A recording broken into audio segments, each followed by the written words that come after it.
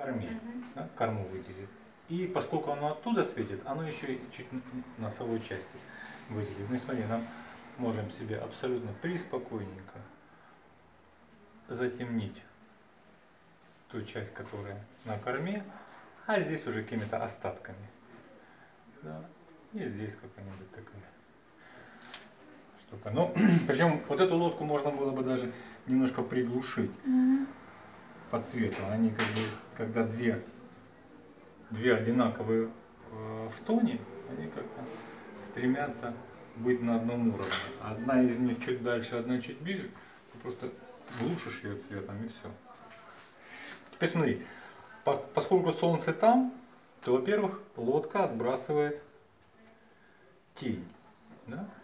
В нашем случае, поскольку здесь другая среда, да, не воздушная, другая, то и тень будет уже учитывать в себе эту среду. Ну, она там, в нашем случае чуть темнее. И какие-нибудь от нее по воде там зигзаги. И то, что я говорил, теперь мы теперь мы берем свет из-под теневой,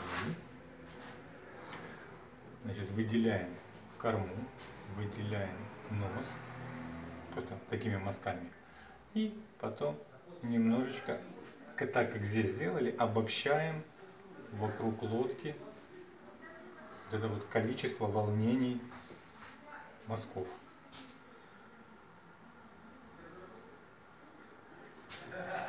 И она у нас села на воду.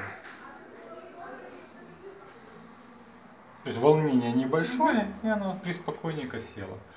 Теперь смотри, для того, чтобы себя немножечко порадовать, ну что, еще там пару, пару мазочков осталось, ну, мы тебя радуем. Допустим, берешь этот яранжуджовый, разбавляешь его с белильцами и вот такие боком ставишь